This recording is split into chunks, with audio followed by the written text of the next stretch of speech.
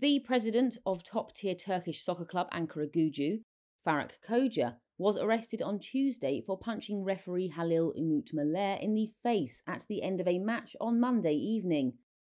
The referee told police that he was also kicked while lying on the pitch, and that Koca also threatens to kill him and his colleagues, local media reported.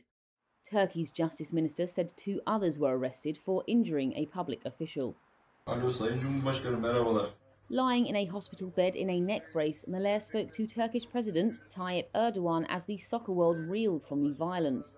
The Turkish Football Federation said it had suspended all leagues after the shameful incident in Ankara.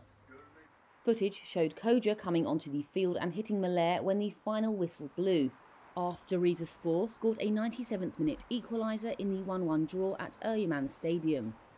The Justice Minister said on social media platform X that the investigation is continuing meticulously, while fellow referee Arda Kardesler spoke on behalf of Meler. Günaydınlar herkese. Dün akşam yaşananları herkes gördü. Söyleyecek hiçbir şeyimiz yok.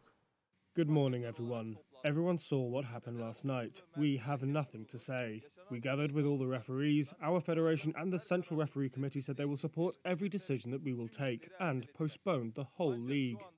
However, right now we are not in a state to discuss or think about refereeing. Our only current priority is for our friend Halil Umut Meler to return to health and his family as soon as possible. Medics said Meler's fracture will heal, there is no brain damage, and he is likely to be discharged on Wednesday. The federation said Ankaragucu, its chairman, club officials, and all those guilty of attacking the referee will be punished in the strongest terms possible. FIFA President Gianni Infantino said the events were totally unacceptable and have no place in our sport or society.